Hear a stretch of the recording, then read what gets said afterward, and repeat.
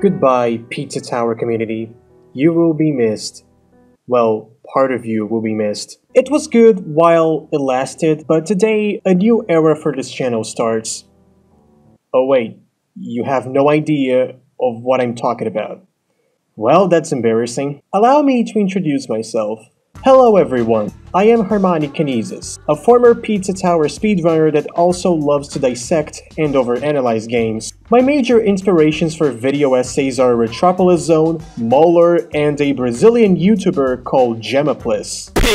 And today we're gonna talk about Flash games. Yeah, you know exactly what I'm talking about. I played them, you played them, everyone fucking played those bad boys. They were the easiest source of fun for many kids in their homes and in their computer classes. Some people think that it's impossible to play Flash games nowadays, but the only thing that changed changed from then and now is that now Flash can't work on internet browsers without extra plugins. There is already a Flash emulator in development called Ruffle, and while it doesn't support all Flash games perfectly at the time of writing, it's still a pretty viable method. But if there's any game you want to play that doesn't work with Ruffle, you can just download the game and run it in a local Flash player. Downloading the game file from the website you use to play it is pretty easy. I managed to do so with no trouble using this article.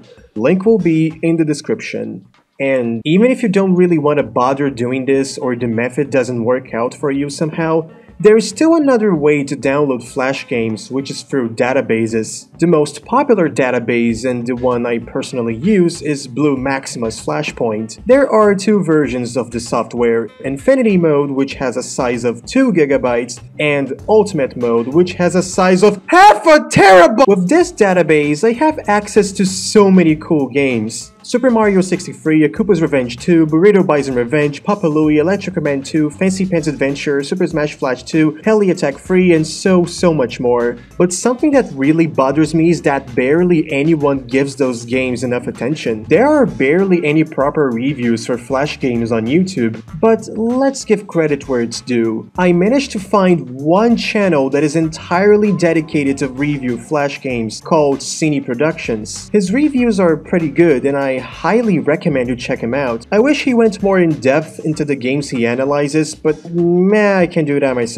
And hey Seany Productions, if you're watching this video, let's have some wild But still, two people are better than one. This world desperately needs more people willing to roast Flash games and highlight everything wrong with them in excruciating detail. And obviously there's no one better than me to perform this task. But with that, I faced a hard question.